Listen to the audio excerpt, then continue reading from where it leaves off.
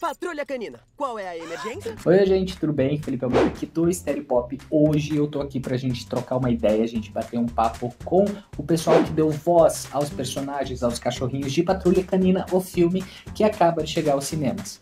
Patrulha Canina é uma série muito conhecida, um fenômeno mundial que agrada os jovens e as crianças de todo o mundo e agora ganhou seu primeiro longa-metragem, trazendo a essência da série para as telonas. Então vamos trocar uma ideia aqui com a Aline Willy, com o Lucas Veloso e com o Wellington Muniz.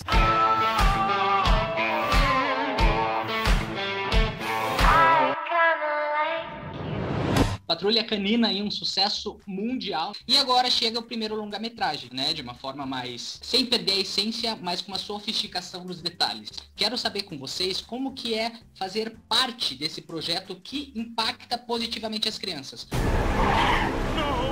O nosso destino está em suas. Um cachorro? Na verdade, senhor, eu sou um filhote. É pior ainda. O senhor está em choque, então não vou levar pro lado pessoal. Por quê? Não é só uma animação. São cachorros, são bichos, então eles fazem parte do crescimento, da criação de caráter e tudo mais. Vou primeiro perguntar para a Aline. Por favor, me conte. Felipe, eu amei tudo que você já falou, porque é exatamente isso, né? Sem perder a essência, mas é, percebendo os detalhes e, e, intensificando os detalhes, porque na verdade é isso. A gente, às vezes, a gente que é adulto olha um desenho e vê só um desenho, mas por detrás dos desenhos é que estão o que os nossos filhos estão assistindo, estão percebendo e que muitas vezes a gente não percebe.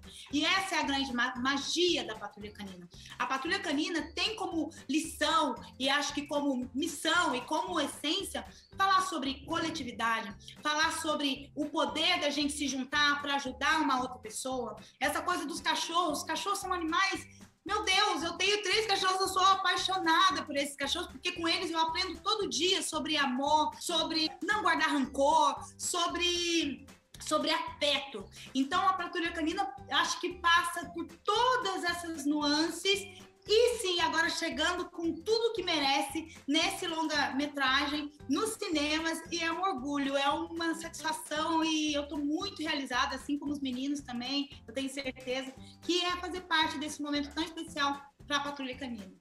Passar pente fino quer dizer que precisamos falar com todo mundo, fazer perguntas, olhar debaixo de cada pé. Olha, faço minhas palavras à Aline, porque ela falou tão bem e é isso. Não é só você ver um desenho que, aliás, é muito bem produzido, o gráfico, mas é a mensagem que esse filme, né, esse projeto incrível no cinema, passa para a molecada. Né? Então, quem está acompanhando na TV vai ver uma história diferente, um enredo muito bem construído, né? tem um estudo por trás disso. E essa mensagem de, de ajudar o próximo, de ser generoso, de dizer que que o, o, o bem sempre vai prosperar, sempre vai vencer o mal. Esse lance de, de, de, de família, que é uma coisa que nessa pandemia a gente acho que as, famílias ficaram mais unidas. Passa essa mensagem de, de se ajudar, de estar perto de quem você ama. Não tem só uma coisa de humor ou só um desenho muito bonito, um projeto de sucesso. Também mas a mensagem, muitas vezes até subliminar, é muito importante na Patrulha Canina no filme. Fazer cinema, eu acho que é uma das coisas. É tipo fazer balé, pra gente que é ator é, é igual para o dançarino fazer balé, é como se fosse o fino da bossa, sabe? É o Olimpo, é, é, o, é onde a gente sempre quis chegar. E fazer logo com um estúdio tão conhecido, tão renomado, fazer com um projeto que já está consolidado, né? E para o público infantil, que o público infantil, como o Ceará já colocou hoje, não mente. A, a criança ou gosta ou não gosta, ela não vai ficar te bajulando, te agradando, né? E as crianças gostam de verdade. É um negócio que, como você colocou aqui no, no início, é, o filme, o enredo do filme, a mensagem principal, entra para o caráter da criança, cara. Então a gente, além de se divertir fazendo um projeto, a gente tem toda essa responsabilidade também de estar ajudando no crescimento mesmo de caráter de, de toda essa geração aí que vai, vai crescer e vai plantar outras boas mensagens para todo mundo. Então, para mim, é uma honra indescritível. Lucas, falou bem nesse negócio de cinema, né, da, da atuação em si.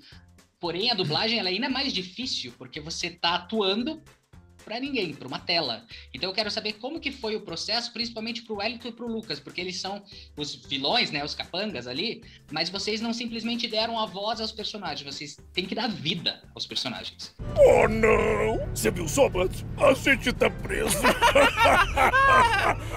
Ei, por que você tá usando o chapéu? Porque eu peguei dele. E eu peguei de você.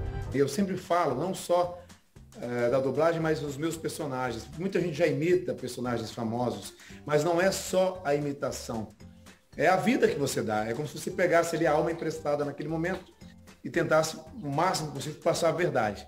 E, e está passando a verdade ali para a criança que precisa formar o caráter dela.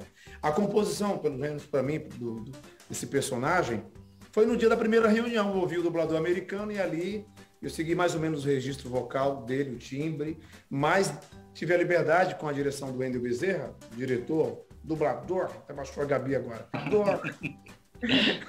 programador, diretor, ele deu a liberdade para a gente de, de curtir aí essa via, né? Transitar, deixando a nossa marca. Olha o que temos aqui.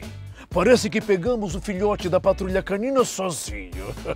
mas a gente não teve muito tempo também de, de fazer um trabalho elaborado, mas quando a gente já fez ali a primeira gravação, em uma semana, pelo menos para mim já foi aprovado, e eu fiquei muito feliz, primeiro, com o convite fazer parte desse projeto incrível, desse, dessa série que tinha um sucesso na televisão, e também de saber que gostaram do timbre, da dublagem, da interpretação, porque você fazer dublagem é complicado, não só colocar ali a dinâmica, né? Porque tem que dar certo tempo. Tem o texto pronto, você tem que colocar. Ou acelera mais, ou desacelera, mas o difícil é dar a interpretação, mudar o tom.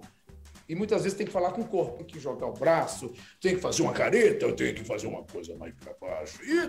Né, é muito complicado essas nuances para quem trabalha com voz, sem ficar rouco, sem ficar cansado. Falar, e passar cara, às vezes, alegria. Às vezes acontece de que a, a, a frase que a gente está colocando no português, no inglês ela é bem menor. Então a é. gente né, tem que improvisar. E o, e o Wendel é um mágico nisso, cara. Ele é muito sagaz, ele é rápido, ele não, não perde tempo com isso. Ele adapta rapidão e a gente já segue o trabalho. Então é muito bacana. E o meu, meu processo foi exatamente igual ao do, do Ceará, do Elton Muniz aí, de ter a referência, mas junto do Wendel, achar o local para colocar minha assinatura naquela voz, sabe? E ficou muito bacana esse contraste do Ruben magrinho com a voz grossa, né? E o Roca, e do Butch mais fortão assim, mais gordão, com aquela voz fininha assim, né? Ficou, ficou bem engraçado. Você não é o Alfa, eu sou o Alfa. Não, eu sou o Alfa. Bom, Lucas, foi a primeira coisa que eu comentei quando eu vi né, ali a nossa cena com os dubladores originais dos americanos, eu falei, que legal isso, né?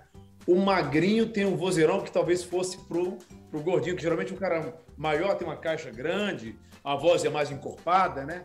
E engraçado que o magrinho, aquele jeitinho, parece até um francês, né? Magrinho, nariz caucasiano, aquela voz, parece que não é dele, parece que não é dele, mas essa é a magia e a sabedoria da galera que criou esse, esse projeto, o roteirista, né, o diretor, de escolher as vozes das celebridades, tanto lá de fora e aqui. É, acho, eu me sinto muito feliz e eu quero já aproveitar aqui e dizer que dia 9 de setembro, prepara aí sua família, leva todo mundo para assistir Patrulha Canina, o filme na telona, gente. Vai ser sucesso, a gente está torcendo muito aqui. Obrigado pelo tempo de vocês, muito sucesso, tanto nesse projeto como nos próximos que vão vir, porque o filme está muito legal. E ah, obrigado. Beijo, Felipe, obrigada. Se cuida. beijo, tchau, tchau. Beijo para a galera do Estéreo Pop. Ah, obrigado. Pop.